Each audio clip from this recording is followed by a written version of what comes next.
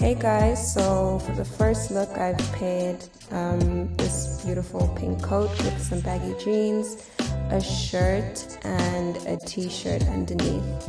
Um, the shirt from far looks purple, but it's actually, if you see it in person, it's like got white and blue stripes, and then from far it looks purple. I like this look, it's colorful, but like not too much. Um, if you do get hot, you can obviously just take the coat off, and then it's just the shirt, and it still looks cute. I don't know why I'm taking the shirt off, girl. It's not that hot. My room is freezing, so um, yeah, this is a cute look though. So for the next look, I'm wearing the trench that I mentioned in my previous winter essentials video. If you haven't seen it guys, please just check it out. Um, I paired it with these, it's like a jumpsuit from Zara. It's like a pair of like pants, but it's actually a jumpsuit. Um, and I'm wearing boots. You can't really see the boots properly, but it's the boots that I also mentioned in the last video. I've paired it with the little bag. It's like, it's just really, really cute. Um, it's simple and it's also like formal, but like not too formal.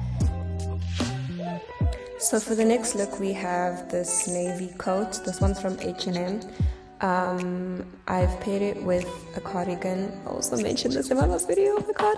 Um, but yeah, I really love wearing this together because the shade of blue of navy is exactly the same. Like the cardigan and the coat, the exact same shade of blue. And I love mixing textures, especially when the colors are the same. Like I don't know, it just looks really nice, especially when you're looking up close. Um, I paired it with some wide leg pants, some flared pants, sorry, and like a white crop, freeing the nipple, yes. So, um, I have a bag with it. I didn't show you really how it looks with the bag. Um, the same boots as the previous look, and yes, of course, accessories are important. Um, I think I'm about to show you what it looks like with the bag. Yeah. Depending on the bag, I think it would make the fit look more formal or more casual. This bag, now it looks formal. Like now it looks like, okay, I'm going somewhere. But like not too formal. Like still comfortable at the same time. I think the crop really makes it um, more casual and yeah it's just it's cute it's cute together i like how it looks with the cardigan unbuttoned when it's buttoned it's not really my vibe but this just looks more laid back it's cute especially with the bag i love this bag um, but yeah time for the next look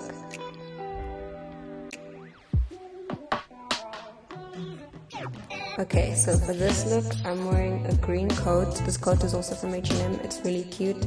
Um, same bag, different boots, but I did mention these boots in my last video. Um, you can't really see them nicely, but like in a bit you will. Um, I'm, underneath, I'm wearing a hoodie. It's like a similar shade of green. If you're not really paying attention, you'll think it's the same shade of green, but it's not. I love the texture again like it's really like layered but not like too layered um, it's really really cute